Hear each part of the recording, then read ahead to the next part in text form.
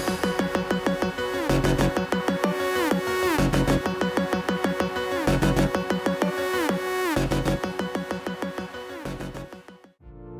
Cześć, dzień dobry, z tej strony Weronika Jaguś i dzisiaj będziemy robić makijaż. Moim celem było odtworzenie jednej z postaci z Marvela. Wylosowałam Spidermana, a więc e, będziemy się dzisiaj tym makijażem zajmować. Właściwie e, już wyjdzie Spider-Woman, tak mi się wydaje.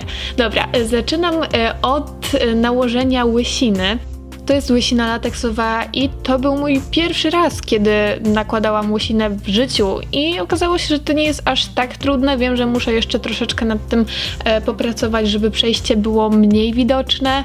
Następnym razem muszę ją troszeczkę bardziej przyciąć, ale generalnie wydaje mi się, że koniec końców tam e, wychodzi na koniec makijażu całkiem spoko. E, przyklejam ją na klej oczywiście Pros 8 i czekam aż e, wyschnie. Bardzo chciałam się nauczyć pracować z łysiną. Co prawda oglądałam trochę tutoriali, ale koniec końców i tak zrobiłam większość po swojemu. Zaczynam od przygotowania mojej skóry pod makijaż. Używam e, bazy z Maybelline. To jest baza Face Studio Prime, e, ta w fioletowym opakowaniu, czyli ochronna, idealna pod takie e, ciężkie makijaże. I nakładam ją nie tylko na twarz, ale też na moją szyję, dekolt, ramiona. Wszędzie tam, gdzie będę po prostu nakładać makijaż. I zaczynam maskować moje brwi na zwykły klej e, szkolny w sztywcie. Kiedyś zajmowało mi to bardzo dużo czasu, ale od kiedy zaczęłam to robić częściej nabrałam wprawy i coś takiego zajmuje mi dosłownie dwie minuty. Wszystko przyklepuję, żeby nie pozostawić żadnej faktury brwi i pudruję wszystko pudrem Lasting Fix. Używam do tego suchej gąbeczki. Dzięki temu nic mi się nie rozpuści, kiedy będę nakładać na to farbę. No i teraz zaczynam e, malowanie. Naszkicowałam sobie miejsce, e, gdzie będą moje oczy i maluję czerwoną farbą całą moją e, łysinę, twarz i tak jak potem też zobaczycie tutaj moje ciało. Staram się być dokładna, ale stwierdziłam, że nie będę malować tyłu głowy i tak dalej. Oczywiście, gdybym gdzieś wychodziła w tej charakteryzacji, to owszem, pomalowałabym też szyję z tyłu i głowę z tyłu, ale to jest tylko taka charakteryzacja do zdjęć, więc stwierdziłam, że po prostu zaoszczędzę trochę czasu, a i tak e, bardzo długo nad tym makijażem siedziałam. Staram się, żeby wszystko było równomiernie pokryte. Nie chcę za bardzo mieć smug, chociaż potem tego i tak nie będzie za bardzo widać, kiedy dodam pajęczynę, ale staram się mimo wszystko być dokładna. E, teraz e, maluję e, sobie moje ciało granatową farbą, żeby troszeczkę imitować kombinezon, coś takiego.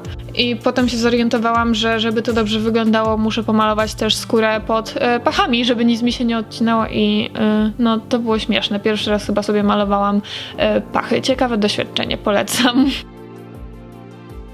Potem kredką namalowałam sobie szkic e, pająka, którego będę mieć e, na środku mojej klatki piersiowej. No i oczywiście wszystko obrysowuję sobie dookoła, staram się e, też tutaj być w miarę precyzyjna. Maluję również moje ramiona.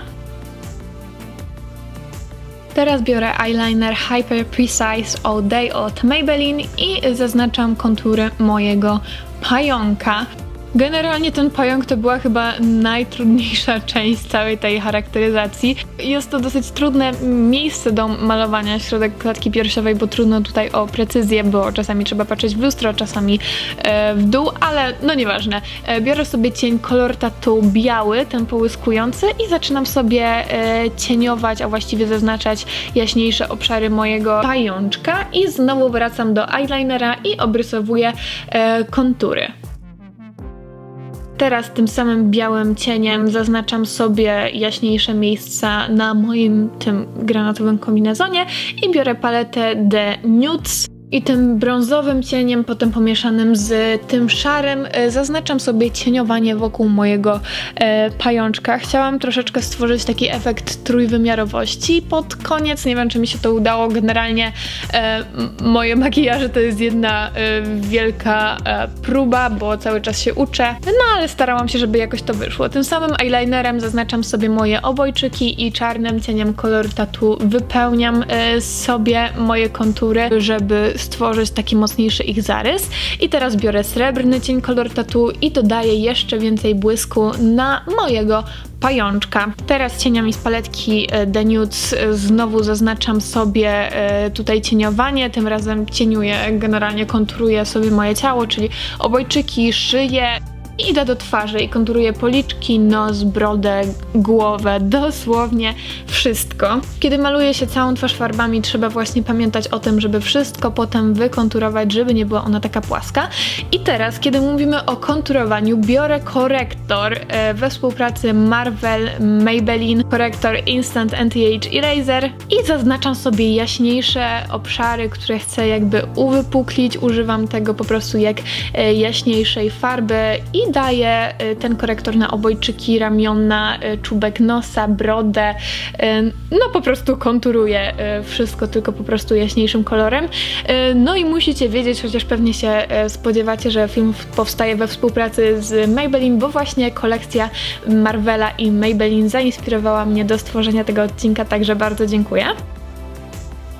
Teraz biorę białą farbę i maluję sobie miejsca e, tutaj przy moich oczach, wypełniam, wypełniam je po prostu czarnym linerem obrysowałam moje oczy i teraz czas e, na pomadkę. Pomadka również Marvel Maybelline w kolorze 20. Jak mogliście, mogłyście zauważyć, na początku pomalowałam sobie usta farbą, ale nie przetrwało to jedzenia i picia e, podczas nagrywania tego odcinka. Także po prostu nawet przy takiej charakteryzacji malowanie ust y, szminką jest często bardziej funkcjonalne i po prostu dodaje nam y, trwałości w tym miejscu. I potem, żeby wszystko mi się y, lepiej zlewało, biorę pędzel, którym konturowałam sobie moją twarz, który jest jeszcze z tych cieni z paletki The. Macham nim sobie po prostu na ustach. Teraz zaczynam rysować moją pajęczynę i zobaczcie, jak jednym pociągnięciem udało mi się namalować prostą linię kilka razy przez całą głowę.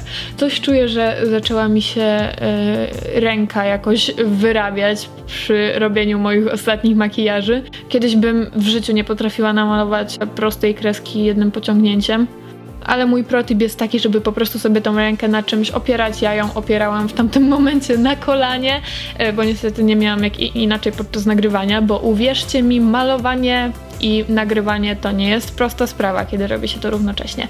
Namalowałam sobie moją pajęczynę y, na twarzy, jak widzicie, i kontynuuję to samo na szyi, y, a następnie biorę srebrny cień kolor tatu i gdzie niegdzie po prostu zaznaczam sobie pajęczynę, żeby dodać takiego efektu trójwymiarowości, y, jak mówiłam na początku. Także teraz pajączek i pajęczyna pięknie mi się zgrywają w jedną spójną całość. Biorę eyeliner Hyper Easy i maluję sobie cienką kreskę przy linii rzęs, ale nie wyjeżdżam y, poza oko i nie robię jaskółki. Y, no i na koniec używam tuszu, tuszu Colossal we współpracy oczywiście Maybelline z Marvelem i tuszuję moje rzęsy na sam koniec. I to jest już gotowy makijaż. E, mam nadzieję, że efekt finalny Wam się podoba. Ja jestem osobiście całkiem nawet zadowolona. E, także jeżeli tak, to zapraszam Was na mojego Instagrama po więcej tego typu makijaży, bo tam naprawdę u mnie się e, dzieje. No i dziękuję Wam bardzo serdecznie za oglądanie. Do zobaczenia w następnych filmach. Buziaki, pa pa!